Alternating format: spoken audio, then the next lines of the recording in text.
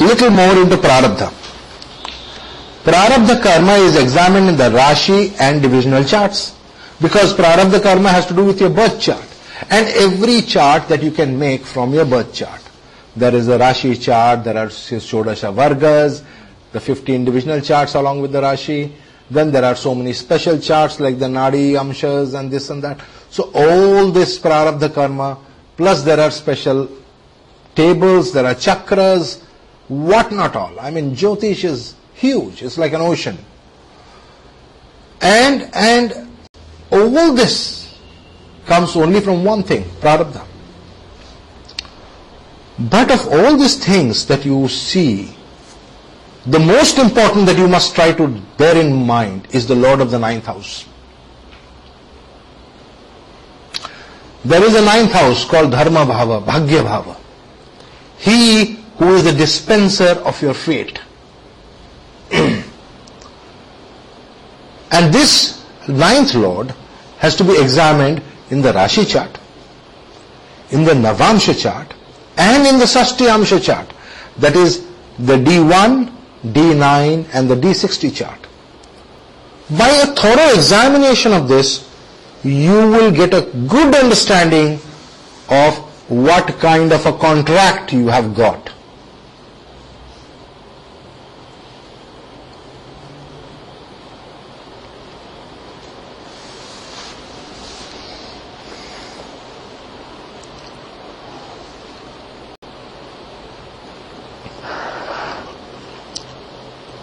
It is the ninth lord of the Rashi which has to be checked in Navamsha or the ninth. Let's take my chart. I am born in Pisces, Meena Lagna. My ninth lord is Mars. People often forget there is a co-lord called Ketu. That itself, stage one of confusion has started. That means I already, my, there are two separate books of accounts. One is from the, the one ninth lord Mars and one is from another ninth lord Ketu. There are two completely separate books of accounts. Two separate contracts. Accounts may be one, but they're separate contracts completely. One set of contracts is from Mars, another set of contracts is from Ketu. so I have to examine how Mars is in my Rashi chart. How strong it is, how benevolent it is, what it is and what it is not. Based upon which I will understand what kind of a fate I am to face. How that fate will manifest. Which areas of my life will it predominate? To what extent will fate, fate play such an important role? To what extent I can change that fate? What do I need to do to change the fate? Navamsha will indicate how my fate is changing after marriage or through such areas of prayers and other things. Because Navamsha is really your bhagya. Your, it is your dharma. How dharma can alter my fate. D60 chart shows the Sanchita prarabdha karma. How much of prarabdha karma I have got, what kind of prarabdha karma I have got pertaining to that planet who forced me to sign this contract of, who is the governor of this contract. So people take Lord of Lagna to be very important. But that is not so. Because the ninth house deals with your past life. And that is why it is called Adhana Rashi. Your conception was based upon your ninth house. And therefore the ninth lord will decide how your ninth past life was. These you will learn more. According to Prashna Marga, the Dridha, Dridha Dridha and Adridha karmas are to be really seen from the Navamsha. It is Navamsha which really decides. Rashi doesn't decide whether the karma with of a graha is dridha or not. It is the Navamsha which decides. But that is only Prashna Marga, and Prashna Marga deals with Prashna, that is Kriyamana Prashna, Kriyamana Karma, and not Prarabdha Karma as such. So, in our traditions, we believe that you have to see the Rashi, the Navamsha, and the Jagannath Drekkana for this. You have to see Rashi, you have to see the Navamsha, and you have to see the Jagannath Drekkana to fully understand karma. Sashtiyamsha is important as far as grahas are concerned.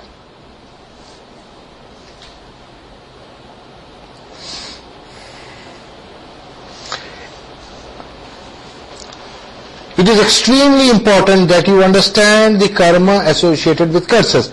If you have contracted, if the prarabdha karma is having a contract part, which has to do with a curse pertaining to a previous birth, a previous incarnation, you must examine the karma associated with it in intricate detail before you even talk about remedial measures.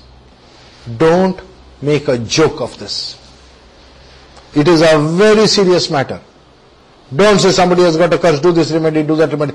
You will be attracting a lot of negative kriyamana karma if you play around with curses. Try to understand the person who has cursed, let us say Mr. X has cursed Mr. Y.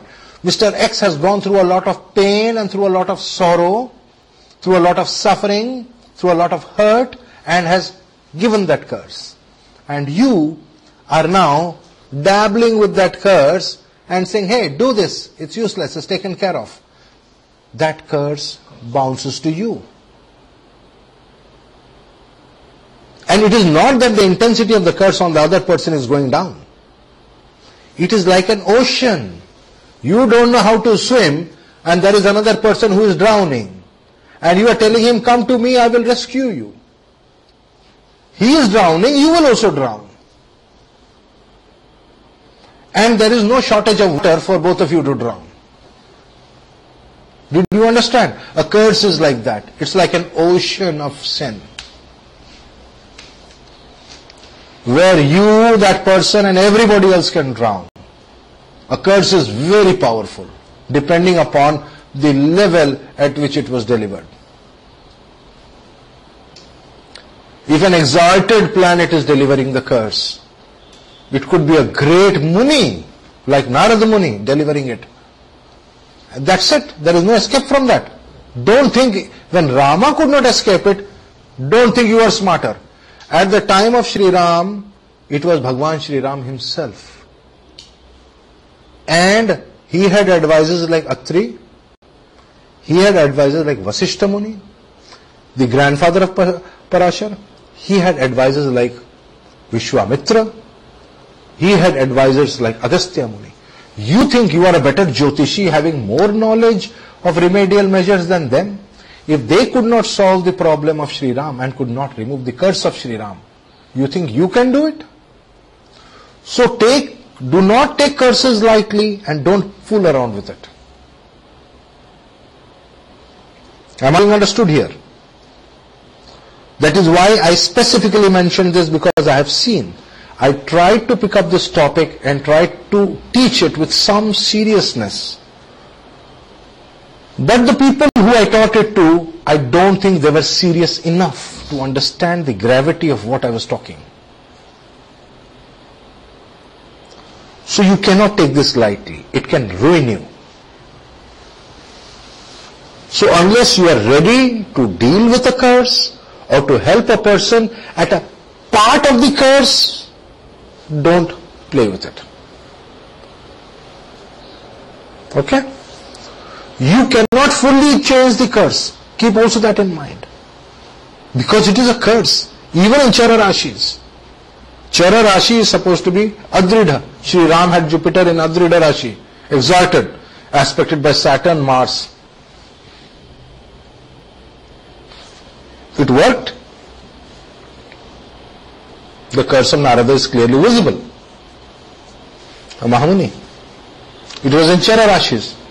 How was it so drida that he had to incarnate and he had to experience it? We don't have the Navamsha.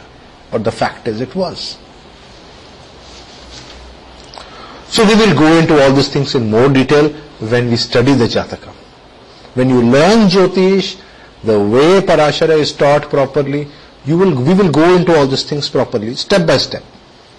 But till then, don't do these things. So, to be very clear, if there are two lords of the ninth house, examine both. If one of them has a better contract than the other one, does not mean that the other one is not manifesting. Both will manifest. Okay? If remedial measures have to be prescribed, first prescribe it for this ninth lord. Because if dharma is strong, everything else will become strong.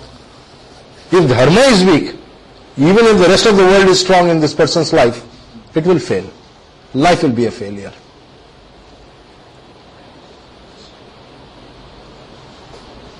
Okay?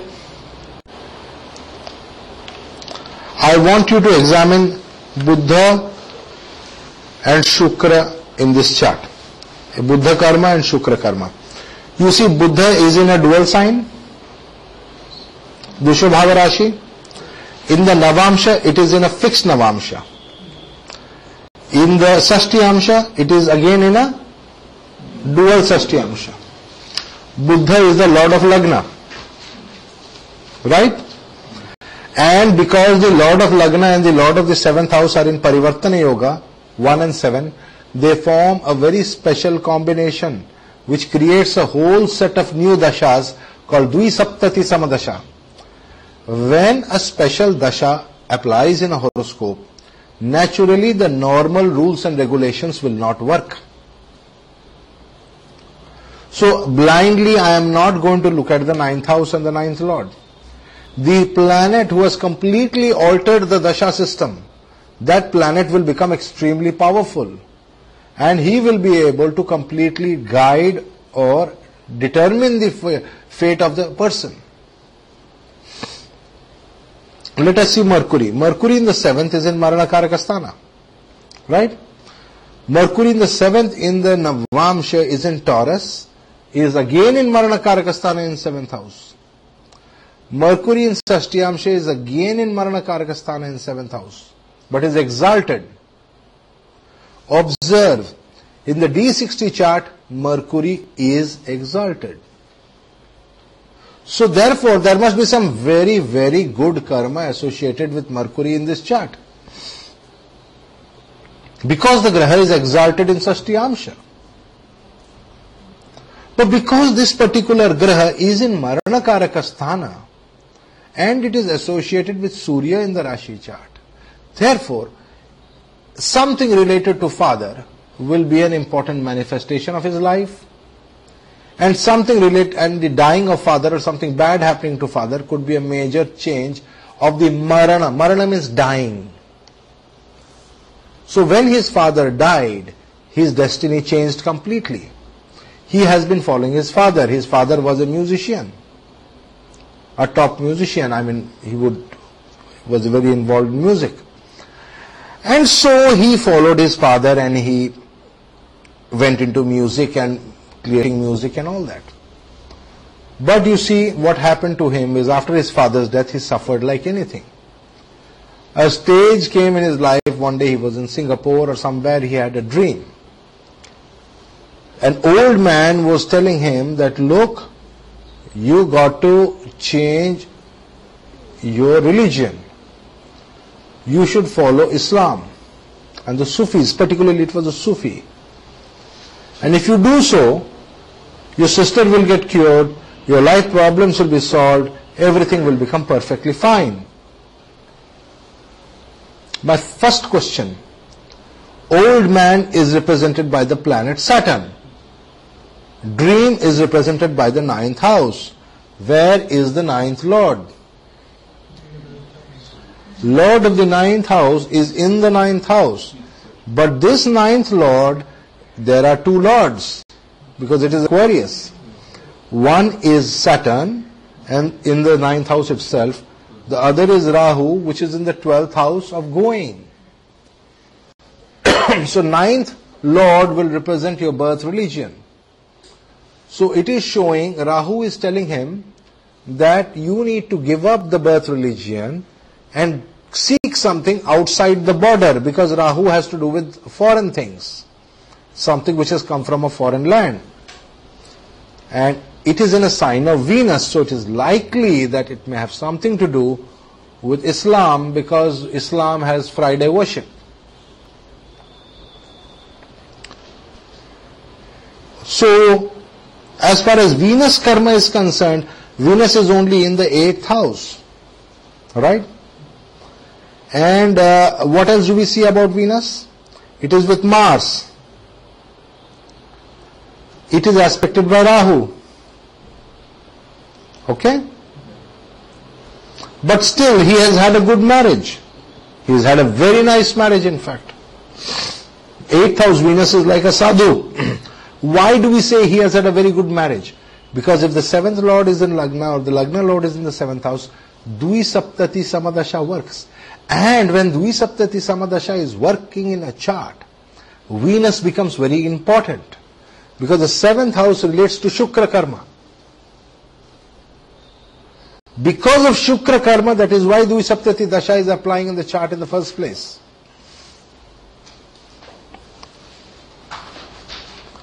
So it was Shukra, his sister falling sick, which caused him to change. So how did he get over Mercury's Marana Karakasthana? He changed his name. When he changed his religion, he also changed his name. The sun in the seventh house will indicate something you will change completely in your life.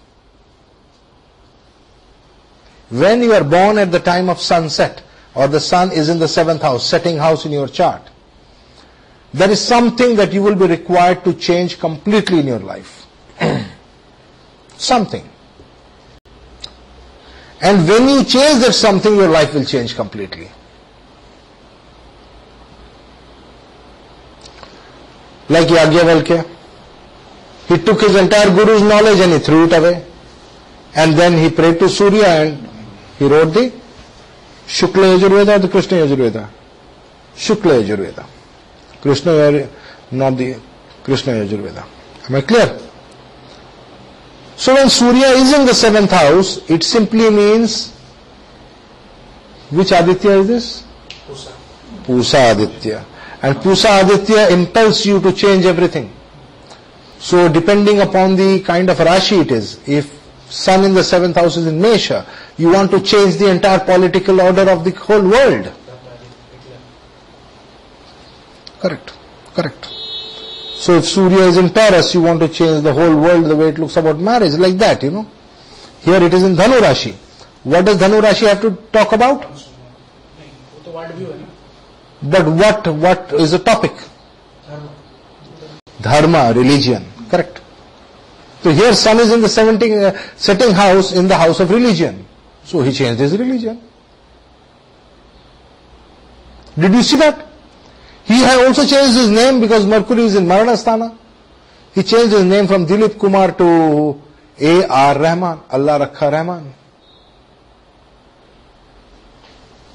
And after that, everything has happened well for him.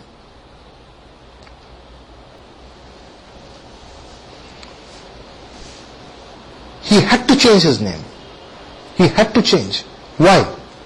Because that Mercury is in a fixed Navamsha. Remedial measures did not work. All the remedies, he must have gone to so many astrologers, worn so many rings, done so many things. It's in a fixed Navamsha.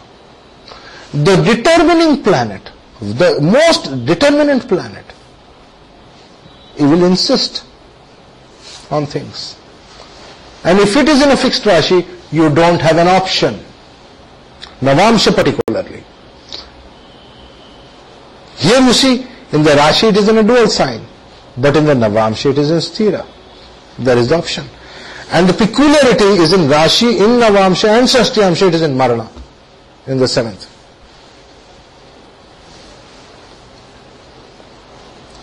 When a graha like Mercury is in Marana in the seventh house, the Rashi when the Marana will be experienced is Kanya Rashi. So this entire Marana experience was during Kanya Dasha, Kanya Narayan Dasha. You see the accuracy of the Narayan Dasha. So the change and everything happened during Kanya Narayan Dasha. You can time it very accurately if you use Narayan Dasha.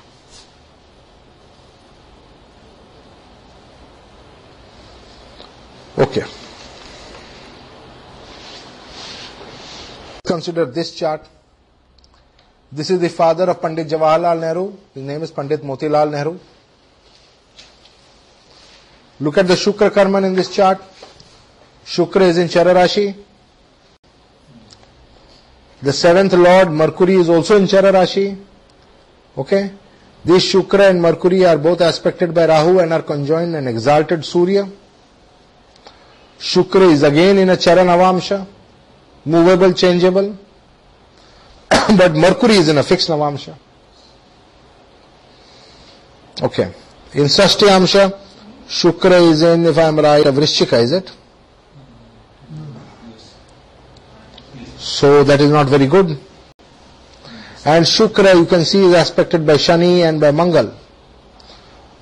So, whether it is, and in the Navamsha, Shukra has terrible Papakartari Yoga between Rahu, Surya on one side and Mangal on the other side.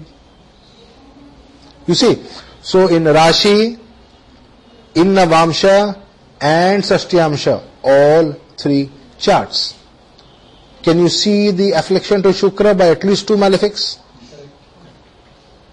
Severe affliction. His first marriage, his wife and child gone. He was married very young and he lost his wife and a child. There was a child also. Both died. Pura saf. His, dest- his dynasty was destroyed. Then he went and prayed and uh, after that he had so many children from a second marriage.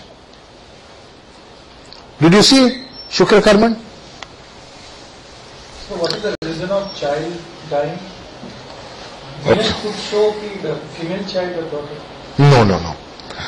No, no, no. Shukra, Shukra shows children.